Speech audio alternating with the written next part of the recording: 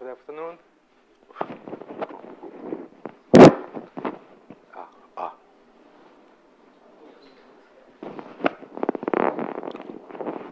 Thank you. Thank you. Uh, good afternoon. I'm Hyeongil Kim, uh, Nuclear Data Center of Korea, Korea Atomic. Korea, uh, Korea Atomic Energy. Uh, uh, uh Energy Research Institute. Uh, let me introduce myself shortly. Um, I major in physics and nuclear engineering, and uh, I'm charge of nuclear data evaluation of our center.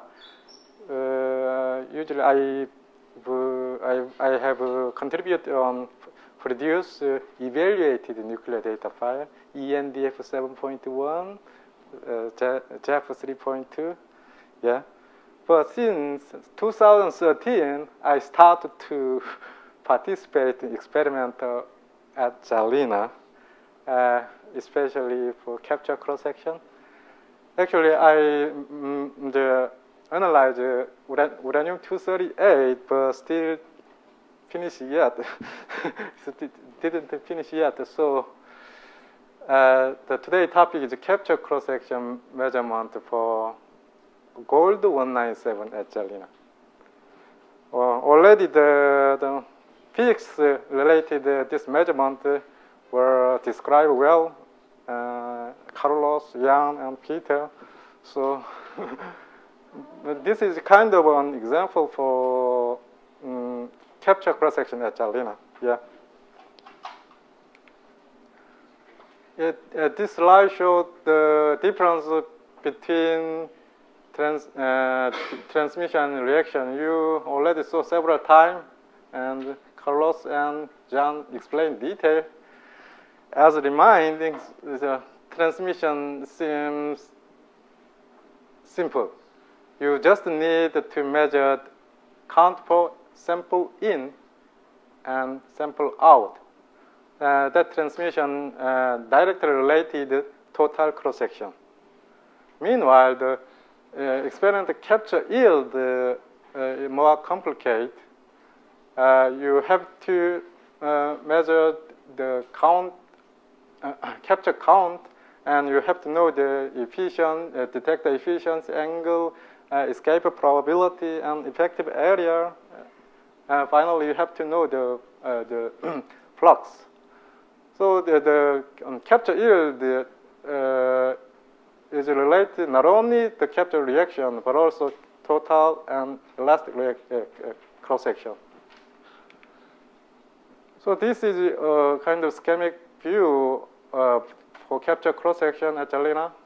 Neutron produced at target go this way through the applied path, and we measured the flux here using um, boron, boron 10 ionization chamber.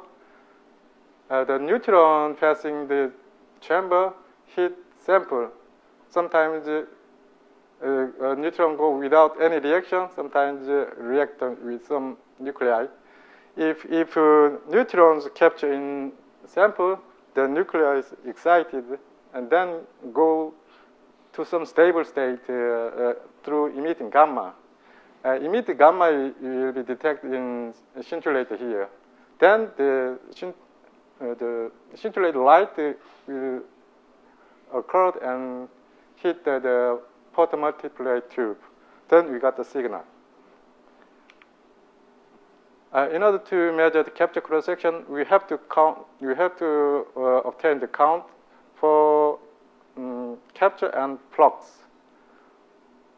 Using both re relations, we you can obtain the experimental capture yield. Uh, this is kind of some uh, function of parameter, some parameter, several lots of parameter, and flux. Flux is required as, as a kind of standard reaction.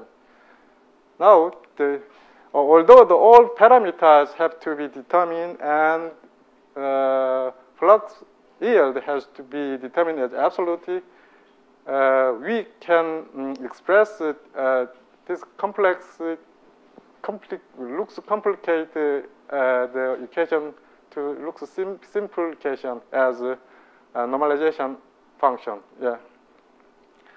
Here the norm normalization uh, account for all energy independent parameter and absolute value of a neutron flux. Yeah. The normalization is uh, determined at the energy uh, here. Uh, how to uh, to normalize?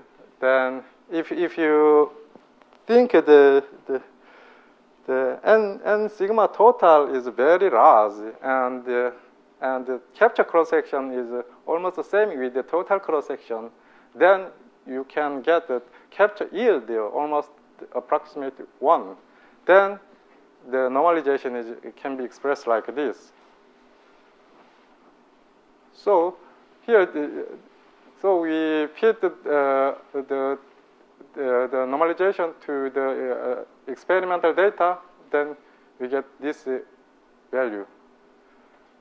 Here, the where the when and normalization is independent of sample thickness and any nuclear data. Then we got the uncertainty for capture yield uh, below 2%. Yes. Uh, uh, this is a more detailed description for the capture cross-section and GELINA. Yeah. The electron beam hit the uranium target, then uh, Bremsstrahlung gamma will occur uh, after that, uh, neutron uh, neutron will be produced by um, gamma n or gamma fission. Then neutron go this way and they meet the some moderate.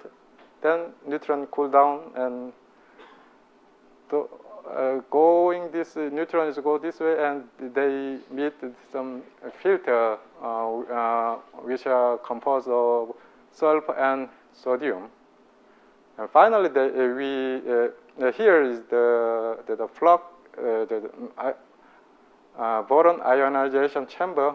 Here, the neutron hit, um, react here. We get the flux. Finally, the neutron hit the sample. Then some nucle uh, neutrons uh, capture in sample.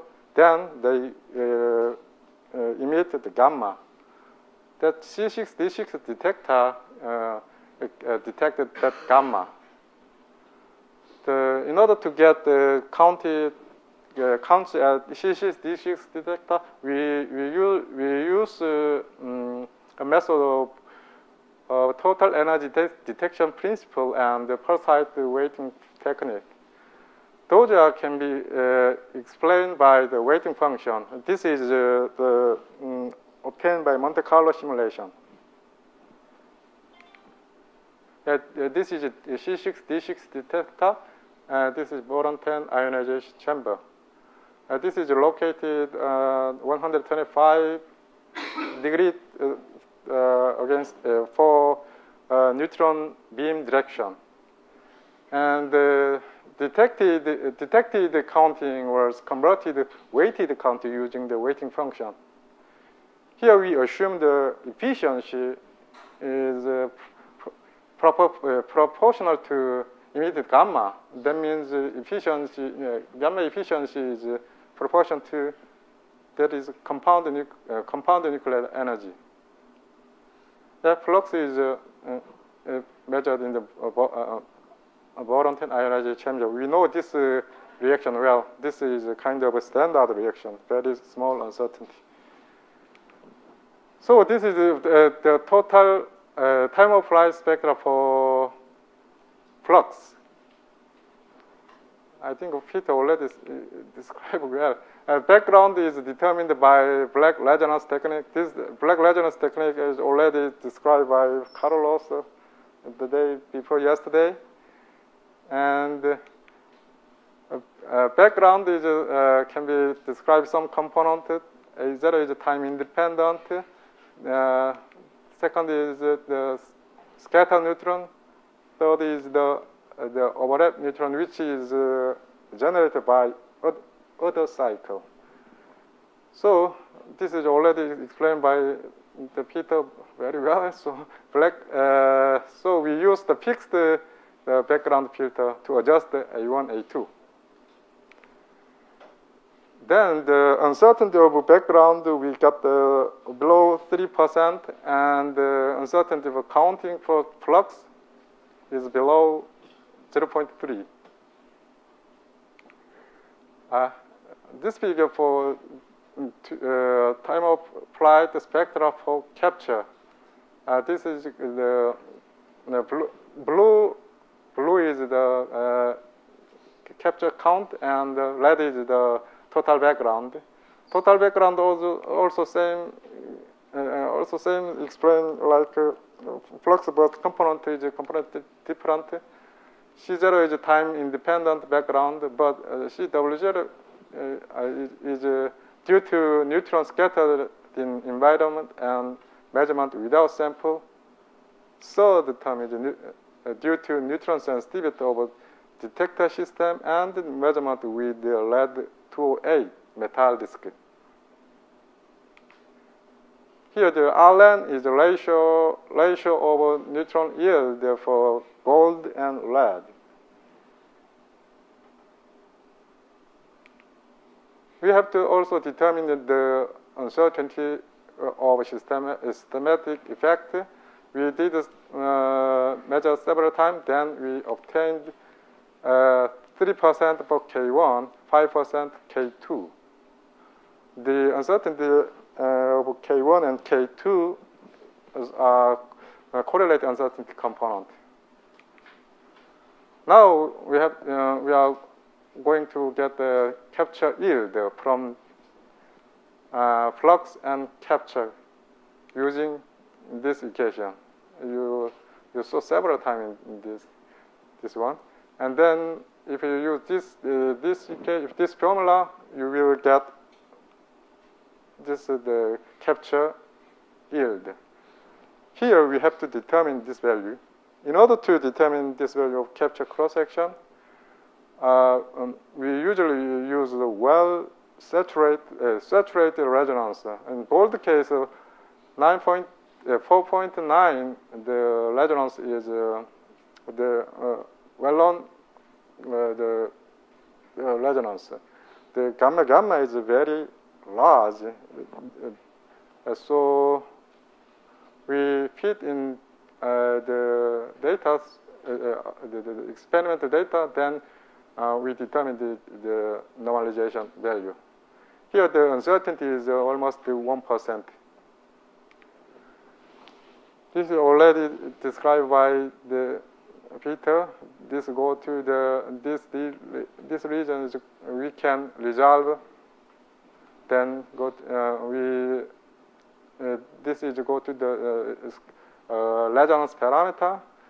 Uh, this go to the average resonance parameter we will do. Uh, now I'm going to the average resonance, uh, uh, average cross section.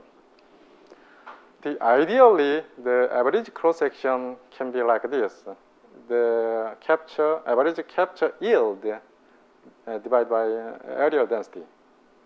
But as uh, Carlos said, uh, said um, on Wednesday, real experimental, there are lots of multiple scattering, uh, multiple reaction. So cannot, uh, average uh, capture yield cannot be uh, average sigma capture, uh, and sigma and yeah, average capture cross section. But if you think of very thin target, then we can we can approximately this is the same. So we uh, uh, become the this this uh, this uh, satisfies this equation. We need some some some some factor. So we uh, in, introduce the correction factor. The which uh, for correction factor for capture um, is the ratio ratio of uh, capture yield for real target divided by capture yield for very thin target. This is calculated by MCNP simulation. Then, the, employing the correction factor, the average capture cross-section can be uh, described like this. Uh, capture yield, capture average capture yield divided by correction factor and area density. This is the result. Uh, uh, flight path 12.5 meter and the thickness is 0.5 millimeter. And another is uh, same flight path, different uh, thickness 1.0. Last is the different uh, the flight path length and the thickness 1.0. Then we obtained the uncertainty of average capture cross-section is 1.2. Uh, this is uh, yesterday you also saw similar similar the table and when you when you're running the AGS. Uh, today also the Peter described very well detail. So yeah, this is the energy. Uh, this is energy interval low 3.5 kV to 4.0 kV and correction factor average capture cross section and this is the um, covariance matrix. This uh, the quantity statistics go, go to the diagonal term and remaining D0, K1, K2, uh, the normalization go to the off diagonal component.